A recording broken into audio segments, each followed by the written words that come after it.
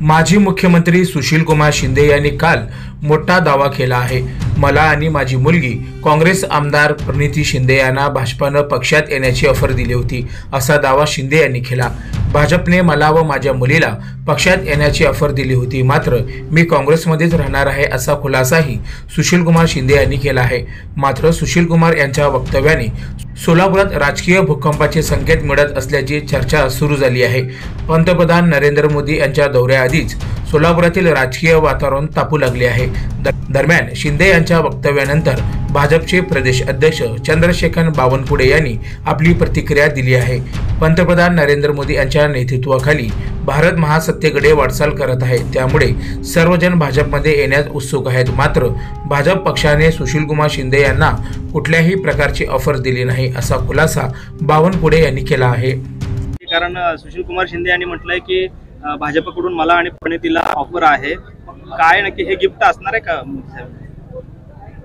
मी आपल्याला अत्यंत जबाबदारीने सांगतो आहे कुठलीही ऑफर कुठलीही ऑफर भारतीय जनता पार्टीनी सुशील कुमार शिंदेजी किंवा प्रणिताई शिंदे शिंदे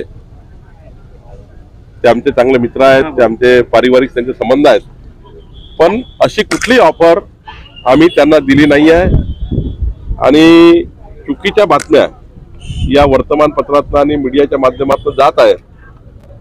भारतीय जनता पार्टीने कुठलीही ऑफर प्रणितीजी किंवा सुशील कुमारजीला दिली नाही. सांगत नाहीये. दोन हजार एकोणीसच्या निवडणुकांच्या आधी सांगितलं होतं माझ्या ताकदीचा नेत्यांना ऑफर दिली आहे. आत्ताही पुन्हा सांगतायत. स्वतःची किंमत वाढवून घेण्यासाठी आहे की फक्त खरंच ऑफर दिल्या जात आहे मी जबाबदारीनं राज्याचा अध्यक्ष म्हणून सांगतो आहे की कुठलीही ऑफर भेटी होणं एक गोष्ट वेगळी आहे. माझी भेट दोन तीनदा झाली मधल्या काळात. भेटी होणं वेगळा. पण पक्षामध्ये अशी कुठली ऑफर दोघांनी आम्ही दिली नाहीये. पण या पुढच्या कालावधीमध्ये देणार आहात. आम्ही आज आम्हाला तशी आवश्यकता नाही आहे आणि कुणी जर आमचा दुपट्टा घालायला तयार असेल कुणी आमचा मोदीजींच्या नेतृत्वात जसं अजितदादांनी. अजितदादांनी आम्हाला समर्थन देताना काय म्हटलं? की जगातला सर्वोत्तम भारत निर्माण करण्याची क्षमता मोदीजीमध्ये आहे म्हणून मी शरद पवार साहेबांना सोडून मोदीजी सोबत आले. जर कोणी आलं असं जगातला सर्वोत्तम भारत आत्मनिर्भर भारताच्या संकल्पाला साथ देण्याकरता आमचा दुपट्टा नेहमी तयार आहे. कुणालाही कोणी कोणी फक्त एकच प्रश्न आहे कुठलाही आम्ही ऑफर देणार नाही कुठलीही आम्ही सीटचं कमिटमेंट करणार नाही कुणालाही आम्ही त्या ठिकाणी या या खासदारकी घ्या आमदार घ्या मग पक्षाचे असं म्हणणार नाही. पण एकच आहे.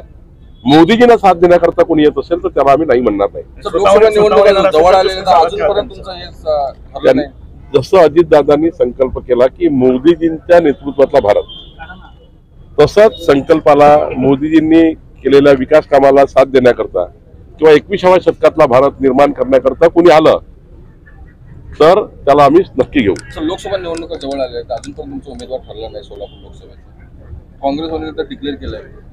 प्रणिती शिंदे असतील. स्वतः सुशील कुमार शिंदे डिक्लेअर केले आमचं केंद्रीय पार्लमेंटरी बोर्ड याचा निर्णय करतं. हा निर्णय राज्यात होत नाही. केंद्रीय पार्लमेंटरी बोर्ड लवकरच निर्णय करेल. आणि असा उमेदवार आपल्याला मिळेल की या सोलापूरच्या लोकसभेतल्या सर्व समस्या या मोदीजीच्या सरकारकडनं सोडवण्याचा प्रयत्न करेल असा उमेदवार नक्की आपल्याला लवकर मिळेल.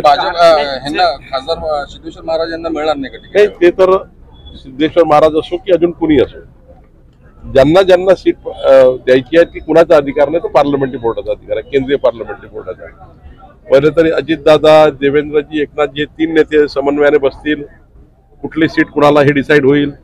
आणि मग जिंकण्याकरता कोणती सीट कुणाला घेतली पाहिजे याचा विचार होईल. आणि मग केंद्रीय पार्लमेंटरी बोर्डात आमचे तीनही नेते बसून योग्य निर्णय करतील.